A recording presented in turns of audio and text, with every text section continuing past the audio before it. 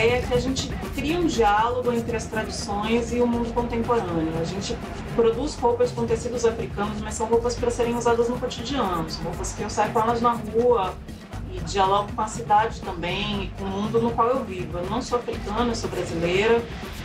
Então eu estou falando dessa africanidade que está aqui no Brasil e que está viva, que é contemporânea e que é, e é globalizada, porque essa mesma, essa mesma africanidade da qual eu estou falando aqui no Brasil, tem gente falando dela em Nova York, a gente fala muito dessa África viva e dessa diáspora africana também, né? Que tem essa raiz na, na matriz africana, mas que está no mundo todo. A gente nunca pensou a moda separada de um fazer social. Para a gente, a moda é um veículo de comunicação e de transformação social também. A gente está falando dessa moda que tem um papel que é social e que é político. Tem uma moda que é a moda da efemeridade, das coisas que vêm e vão numa velocidade assustadora, assim. Por isso que a gente não acompanha essa ideia. A gente não trabalha é, a africanidade, o afro, a África, não são temas de uma coleção, eles são um tema de vida. Então eu sempre vou falar disso, de diferentes maneiras, porque é um tema super abrangente, super rico em imagem, em conceito, em ideia, mas não é o tema de uma coleção, é um, é um projeto de vida. E isso ninguém tira, isso não, isso não é efêmero, isso não, não anda com a moda, isso anda com você. É muito, é muito mais político do que comercial. Brasil África, eles têm tudo a ver. Aí o que, que eu fiz? Eu comecei, eu mesma comecei a mostrar de vestido igual africano, vestir roupas assim, de tipo africano mesmo. As, comecei, as pessoas começaram a olhar, começar assim. Tem assim, coragem de começar a vestir as roupas quando eles compram um vestido aqui, porque minha vida toda africana se feita aqui na Rua do Catete. Eu sempre trabalhei na Rua do Catete. Aí o cliente compra, coloca, sai, eu tipo, ah, tá bonita. Aí eles começam a ter assim, coragem de, de usar esses vestidos. Aí quando eu cheguei no Brasil, eu pensava assim, no começo eu não posso chegar aqui como conjunto, saia, blusa, turbante, tudo. O que eu fiz? Eu comecei a modernizar um pouquinho a, a roupa do Senegal, a tradição do Senegal. Assim, moderniza, longo, e tenta cortar curto, deixar ela bem, o povo brasileiro poder usar. Mas assim, agora eles estão querendo usar igual do Senegal. Quero o conjunto saia, blusa, turbante. Eu saio assim, todo mundo fala, ah, eu quero o vestido que você tá, eu quero o conjunto todo.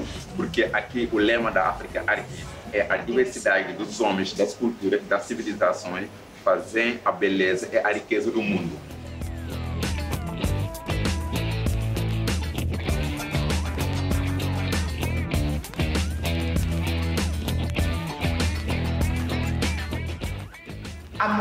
Ela busca naturalidade. A gente procura estar tá trabalhando na cabeça dos alunos, dos candidatos a modelos, que o natural é o melhor. Então, às vezes elas chegam aqui com o cabelo alisado, com relaxamento, é, cheio de complexos, muitos complexos. Elas não se gostam, elas querem ser alguém que elas não são. Eu nasci em uma, é, em uma favela, na Praia do Pinto, onde surgiu o filme Cidade de Deus. E para nós né, não irmos morar na, na, na Cidade de Deus, minha mãe pegou os seis filhos e trouxe para Niterói. E minha mãe ela era diarista do, na época do presidente do país, é, minha, do presidente Dutra. Minha mãe era costureira da Maria do Carmo Dutra, Carmen Maria Veiga, Tônia Carreiro, Gil Brandão, Hugo Rocha. E o presidente, eu lembro que o Ali tem 6, 7 anos, ele gostava que a gente sentasse à mesa com ele para tomar o café da manhã, chamar eu lembro de muito bem disso. E ele me disse uma coisa que eu guardo comigo até hoje.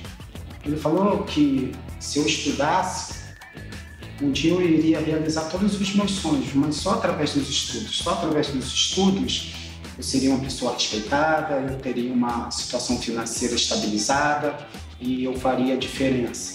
A gente tem alunos é, que às vezes já ouvimos de alunos de pai de, de pai de aluno que mesmo dentro de casa de falar para o filho que assim você vai ser modelo para quê? É, negro não tem é, não tem vez entendeu? O negro não pode ser modelo. No negro não pode ser modelo, entendeu? Então falam isso para os meus alunos e eu falo, você pode, porque eu pude, eu sou e eu trabalho até hoje. E eu sou um ponto de referência para os pais de vocês. E já houve caso de, de eu ser abordado por um policial e ele me perguntar: o que você faz para ter um carro desse? A minha resposta foi única, rápida. Trabalho. Eu estudei. Trabalho.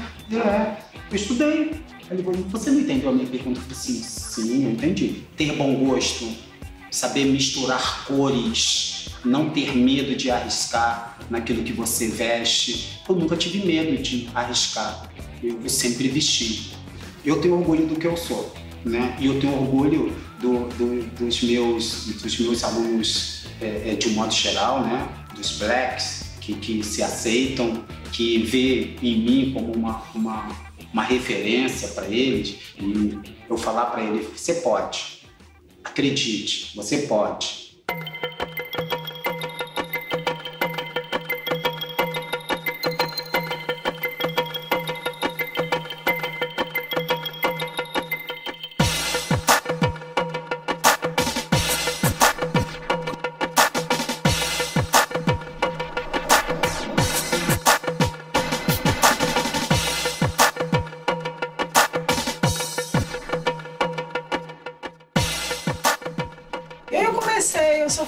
Costureira.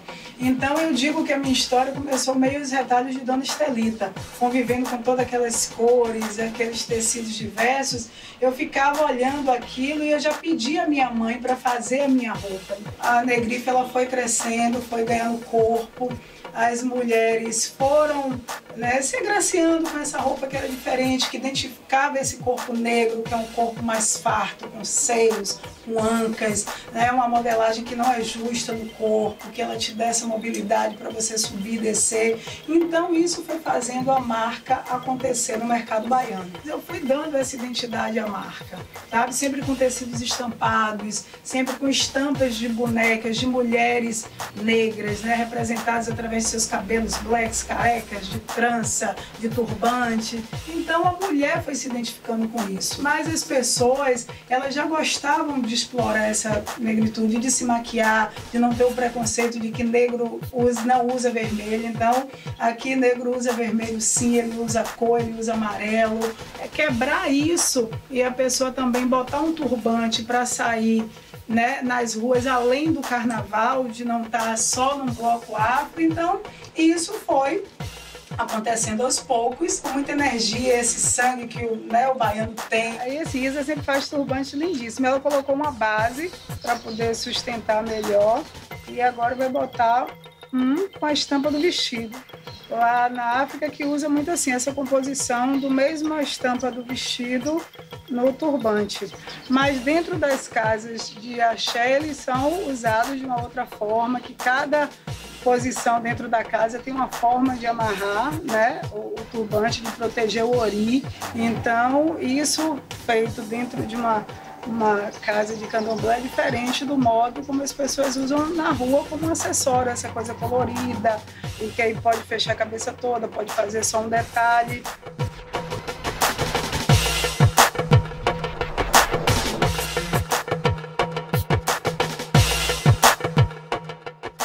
É, fiz desenho sempre na área de decoração.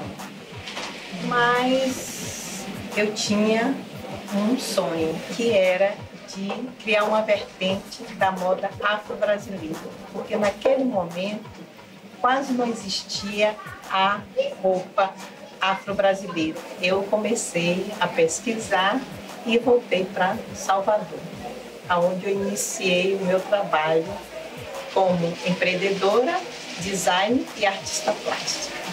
Era necessário criar um trabalho que tivesse uma personalidade própria, que ele se fosse identificado esse tipo de produto, realmente eu fui pioneira. E a partir daí eu fui galgando os espaços por uma questão natural de início e também de conservar a simbologia não entrar numa questão mais de moda e sim criar um estilo que esse estilo fosse preservado e ele pudesse ser reconhecido.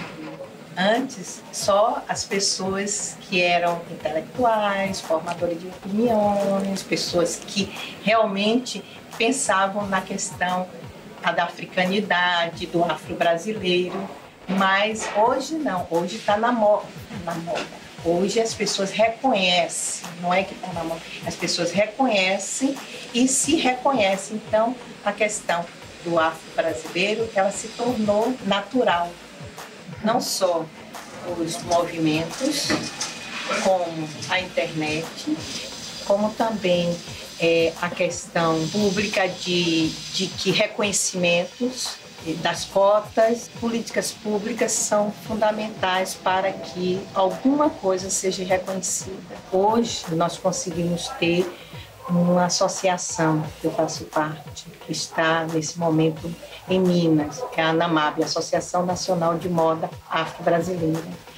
Por isso que agora existe, porque não é pouca gente, tem muita gente mas a maioria dessas pessoas não tem o que da moda dominante. A mídia que acontece conosco é sempre virtual, é sempre oportuna, é sempre casual, por uma necessidade, datas. Eu sei que contribuir porque as pessoas é, enxergam que eu sou uma contadora de história por meio do da, do vestido, das bolsas e das estampas.